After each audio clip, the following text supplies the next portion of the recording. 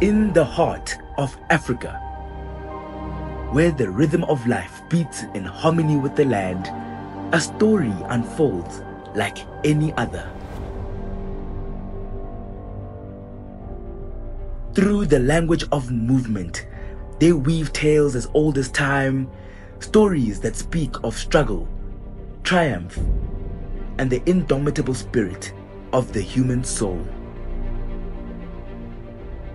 Every gesture, every step is a testament to the rich tapestry of African culture passed down through generations, a living embodiment of tradition and heritage.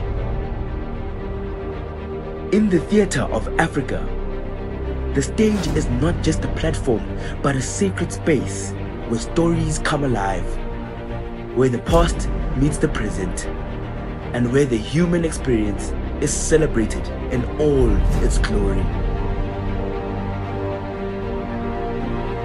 As the curtain falls, we are left in awe of the power of physical theater to transcend boundaries, to unite us in our shared humanity, and to remind us of the beauty that lies within us all.